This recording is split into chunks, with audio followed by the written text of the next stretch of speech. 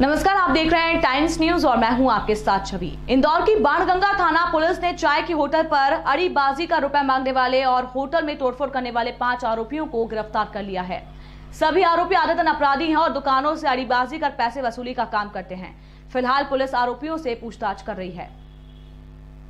इंदौर के बाणगंगा थाना क्षेत्र स्थित कुशवाहा नगर के मेन मार्केट में कल बदमाशों ने इस कदर आतंक मचाया कि पूरे बाज़ार में व्यापारियों में दहशत में माहौल साफ़ तौर पर देखने को मिला। बताया जा रहा है कि आसपास के ही कॉलोनी के कुछ बदमाश सत्कार नामक होटल पर अरीबाजी करने पहुँचे थे, जिसका दुकान संचालक राहुल उपाध्याय व हेमंत उपाध्याय द्वारा विरोध किया गया। तो बदमाशों ने डंडे सहित रोड पर पड़े पत्थरों से पूरी होटल में तोड़फोड़ मचा दी, जिसमें दोनों ही होटल संचालकों को काफ़ी गंभीर चोटें आई हैं।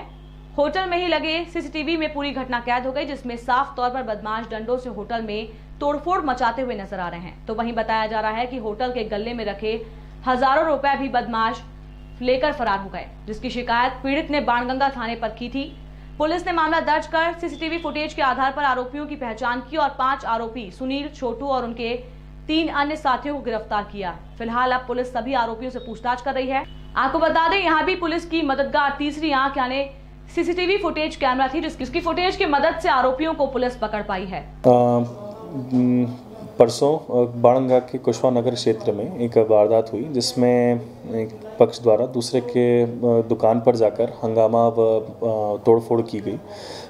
विवाद पता चला कि मामूली बात को लेकर ही था किंतु कुछ सात, आठ, दस लोग आके इकट्ठा होकर और उस संबंधित दुकान दुकानदार और उस दुकान वाले व्यक्ति के साथ में तोड़फोड़ कर मारपीट की गई।